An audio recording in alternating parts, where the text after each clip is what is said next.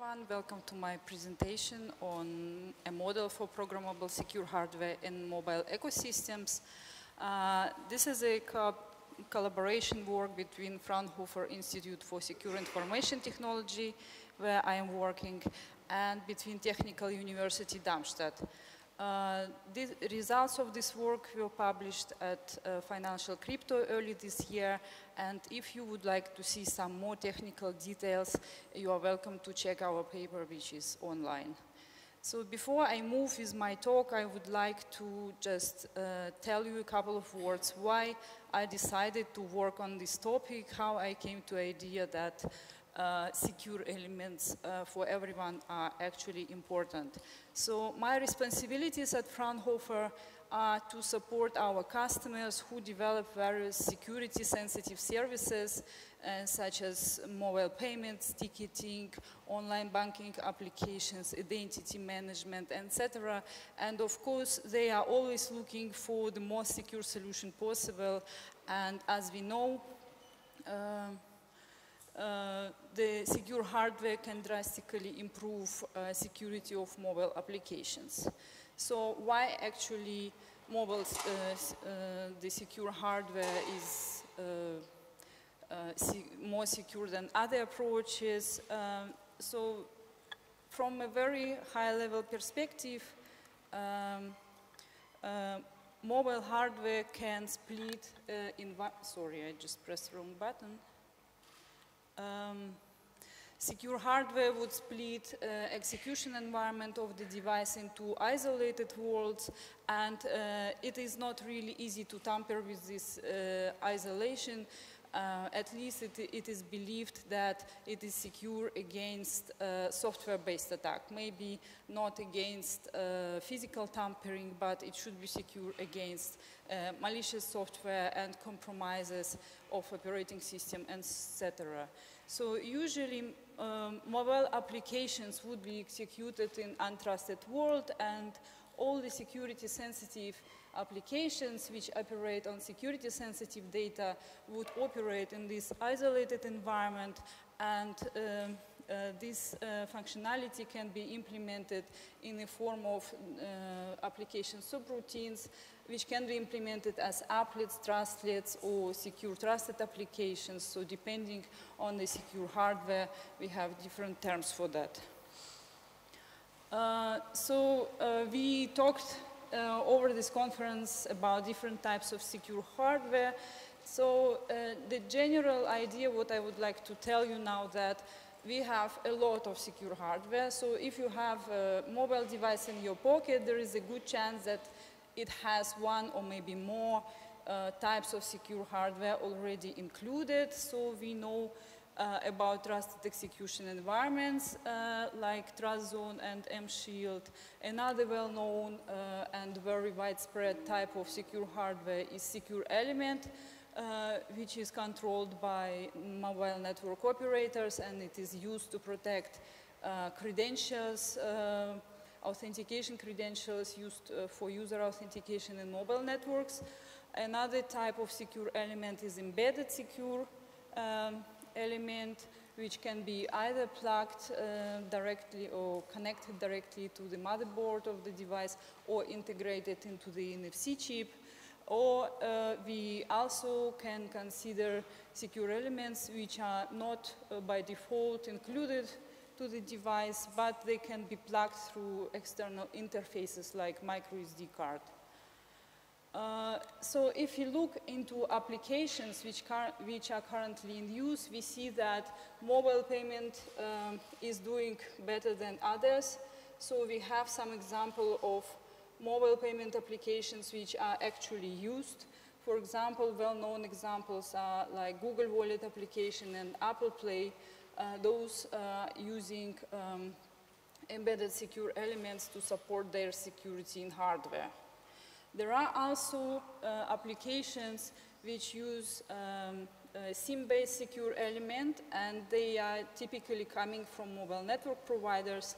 Examples are Vodafone payment app, my wallet from Telekom, uh, Telekom etc.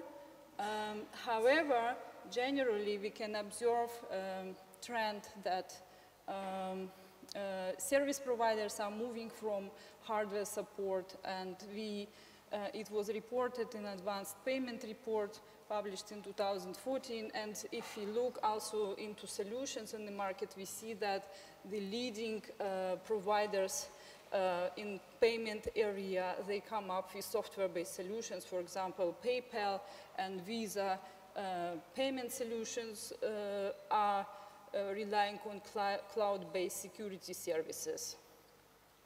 And in other application domains, we also observe that online banking solutions, mobile ticketing, access control applications, identity management, they normally do not uh, use any support in hardware.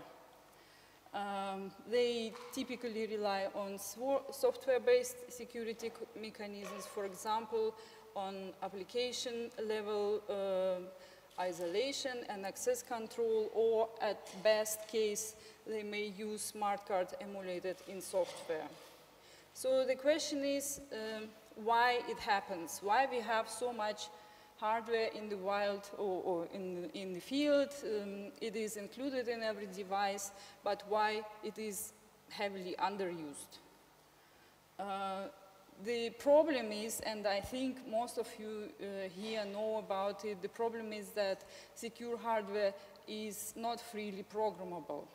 And this is the case because there are uh, several problems. The first problem is that uh, the widely deployed types of secure hardware, such as uh, secure elements, uh, embedded secure elements, and SIM cards, um, as well as trusted execution environments, they are controlled by their, their stakeholders. It basically means that uh, no code can be executed in those environments before it is signed by, by, by the stakeholder. Uh, another problem is that there are no effective business model exists to allow to actually uh, enable effective collaboration of application developers and those stakeholders. For example, uh, in previous talk, uh, it was mentioned as a problem that, for example, governmental organization may not have good relations to network operator and uh, this actually uh, complicates all the thing. And it's even more difficult when we talk about smaller uh, application developers which develop small applications. We have also experienced like when we tried to contact um, hardware stakeholders asking them to let us um, like test our uh, the prototype on their hardware. We could not get it through because it is obviously not a very attractive business case for them. Uh, and the third problem is actually the access control to uh, secure hardware APIs at the operating system. For example, currently in Android, um, they are controlled by operating system vendor. For example, if the new applet is added to secure element um, uh, of the NFC, uh, then uh, the corresponding access control rule should be added and uh, this update comes uh, together with operating system update. And this approach, of course, not flexible enough and uh, also complicates the whole ecosystem. So um, our goal in this project was to design a new framework uh, which would allow third-party developers to develop secure hardware, uh, to develop the code for secure hardware and deploy it. Um, and we wanted to provide some incentive to uh, secure hardware stakeholders uh, so that it would be uh, beneficial for them to provide such access to third parties. Second, we would like to provide uh, a mechanism for simplified interaction between third-party developers and secure hardware uh, stakeholders. And third, uh, we would like to, uh, to design a new access control mechanism to secure hardware APIs, which would be independent from operating system vendors. Uh, so here I would like to show you what kind of high-level ideas we used for our solution. First, we suggested to use marketplace uh, like environments to distribute not only regular apps but also applets. Uh, usually uh, this environment would be effective uh, to bridge small and middle-sized application developers and large entities like operating system vendors or uh, also hardware stakeholders. The second idea, we introduce kind of digital uh, rights management mechanism for secure hardware code, which allows uh, secure hardware stakeholders uh, uh to earn money whenever they uh, let other code to run in their secure elements. And this mechanism provides financial incentives for hardware stakeholders, and I think that uh, in many cases, um, the users would be willing to pay uh, some small fee uh, for increased security, especially when it comes to financial transactions. Um, and uh, the third idea, we, uh, we designed dynamic access control mechanism for secure hardware APIs and um, uh, basically here we distribute access policies uh, not directly from the stakeholder to, uh, to the secure element or not through the uh, operating system vendor, but we use uh, access or we use installation tokens which we introduced in our DRM solution for the distribution of these access control rules and um, our mechanism is compatible to global platform specifications uh, uh, for secure elements. So here I would like to show you what kind of parties are involved in our system. We have a developer, this is entity which develops application and also applets. Um, then we have applet market, uh, application market. This is just a regular market for regular mobile apps. We have applet market uh, ma maintained by the stakeholder of secure hardware, uh, secure element, and the host, uh, which is a generally mobile device such as smartphone or tablet. So here you can see how our system architecture looks like. We have all entities here, and whenever the developer um, develops his application, usually he would develop both parts, uh, the application and the corresponding applet, and when the program is finished, he would submit uh, the applet to the applet market for the certification, uh, and at the same time he would provide the corresponding policy which uh, specifies what kind of applica uh, applications from the operating system should be able to communicate with this applet at runtime.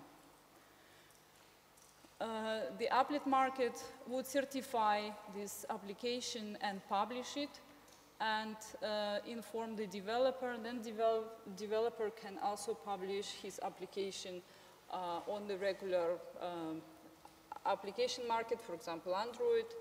Um, and whenever mobile uh, device downloads and install, installs the application, it would detect that this application has uh, applet dependencies and it would uh, then download the applet from the applet market and also fetch uh, so-called installation token uh, uh, and this installation token uh, includes the policy which was provided at this step by the developer. next, mobile host would uh, request secure element to install the applet and it would provide a token and the applet uh, and secure element would verify the token before installation process can uh, proceed. It would instruct the policy, uh, decrypt and install the applet. Now I would like to show you how this procedure looks like uh, from the platform perspective. Here we have mobile host and the secure element. And um, we have uh, components here and mobile application and application installer are standard components of Android.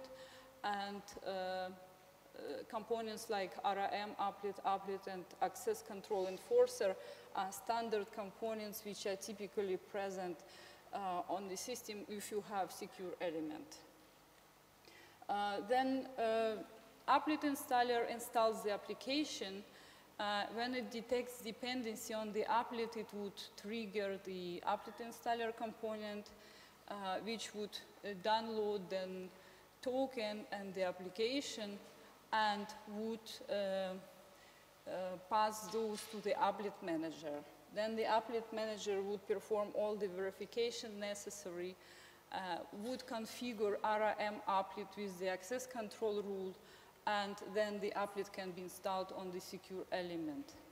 And in execution time, uh, mobile application, whenever it wants to uh, communicate with the corresponding applet, it would uh, send uh, invocation request which would be intercepted by the access control enforcement and uh, then the access control enforcement would fetch the policy from ARA-M applet. It would be verified and if such a communication is allowed, the request would be forwarded by the applet manager and uh, uh to the end to the applet. So when we were developing our solution, we uh, came across an associated challenge. So actually, the possibility to program secure element uh, um, stipulates or may stipulate rapid development of different apps or applets, and uh, uh they may easily exceed the uh, available resources because secure elements are quite resource limited devices. Um, so currently, uh, uh, these kind of problems are regulated by resource quota mechanisms. So now secure elements uh, uh report their resources, available resources, uh, to um, uh, directly through the communication with their stakeholders. But in our mm, solution, this mechanism would not work anymore because first of all, they are not flexible enough and second, uh, we don't have anymore this direct communication link between the stakeholder and um, the secure element. So we come up with, with, the new solution, we call it uh, secure element resource management. Uh, and uh, in our solution, uh, applet management manager performs monitoring of the activity on the secure element and it maintains statistics of applet usage and whenever uh, there is a shortage of memory, for example, to install new applet, it would identify the less uh, used applet, install it on the fly, and install the new applet for the user. And whenever the applet which was previously deinstalled is invoked, it would be on the fly installed again, and all of it would happen transparently for the applications, and um, uh, so that uh, in automated way, so that uh, the system doesn't have to take care of it. So one possible disadvantage is, of course, performance, because if you, before we talk to some part of the application, we need to do this kind of installation, installation. It may uh, impact uh, performance and we have to take care about it. So we implemented our solution for Android and for um, uh, emulated secure element. Uh, so to implement um, emulator of the secure element, we uh, ported jCard uh, SIM open source project from Java to Java on Android. And we had to also port some additional classes from Java because there were dependencies, so there was dependency on this uh, uh, Java Smart Card IO class, which is not available on Android. Um, and we basically also made open source those components so they can be downloaded from our uh, project page and used, uh, for example, for other research projects. So generally, we wanted to uh, make secure element in hardware, but ended with implementation uh, emu with emulated secure element and kind of this is of course the prototype we wanted to show our proof of concept but the, uh, on the other hand we would like to have some solution uh, which is uh, reasonable for certain use cases and which would provide like hardware-based isolation between host and the secure element. So for that, we um, investigated external secure element deployment approach. Uh, for that, we deployed secure element emulated uh, in software on a separate device, and we used uh, Google smartwatch for that. Then we performed uh, some performance measurements. We used two settings. In one setting, we uh, put uh, the host and the secure element on one device, and on another, the host is located in a smartphone and the secure element on a separate device on the smartwatch. We can see that installation and deinstallation of applets in the use case where we have one device is very reasonable, it is fast. And of course, we have some delays due to network communication for the second case. Um, just for sake of comparison, we also measured execution um, uh, based on hardware element just to see that uh, whenever our approach is supported by hardware secure element, this uh, installation of applets and the installation will also happen faster.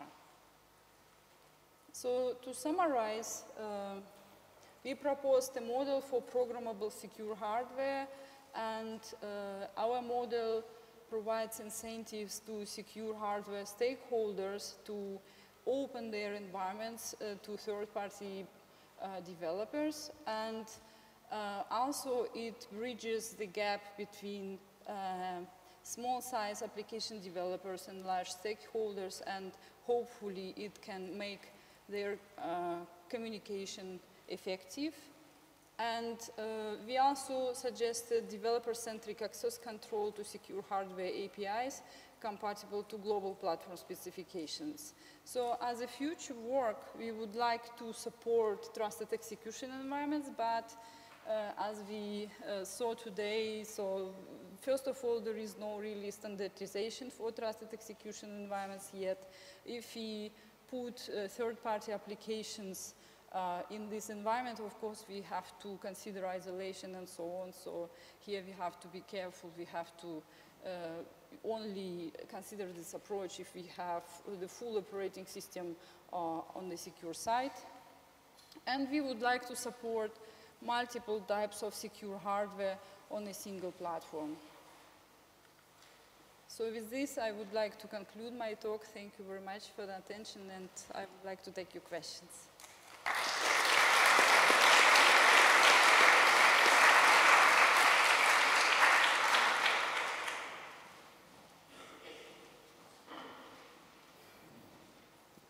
Hello. Uh, this uh, applet store you mentioned uh, yeah. reminds me a lot of the early days of NFC when there was the, um, the idea of a central TSM for all the applications to uh, get the, the keys to the application developers and this whole ecosystem didn't work because the mobile phone operators and the uh, SIM card owners and the embedded secure element owners had no uh, motivation to open their access. What I do you think, think is now is different? different? I got the question. Uh, I think we can assume, so this kind of applet market we consider, it could be also run by this kind of trusted service manage, manage, management uh, companies, but uh, uh, this concept is a bit different from we had before in the sense that uh, at early times, uh, developers had to conclude the contracts between the company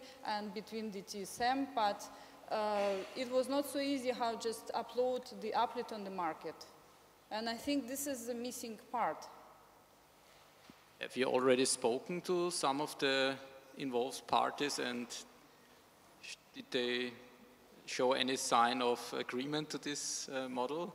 This is a religious question, so I hope that uh, when I'm talking about it, uh, I hope to reach more people. So then, uh, I, we this is for uh, for now. It is no not a commercial project. This is a research project, but we hope that maybe uh, the parties who would be uh, in a position to implement such a solution, maybe they would be interested. I think Google would be in the position, trusted service providers would be in the position, so maybe one day world changes and we can just, we just want to implement our small applications with better security properties.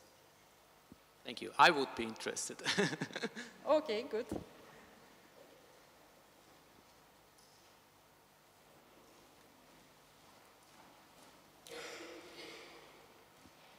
With that on-demand uh, installing and uninstalling of applets, did you consider how to treat the data stored within the secure element? So we discussed it also with Michel offline, so we didn't uh, focus on data. So that I would assume we would do something like secure storage, and, uh, but in our implementation it is not yet covered.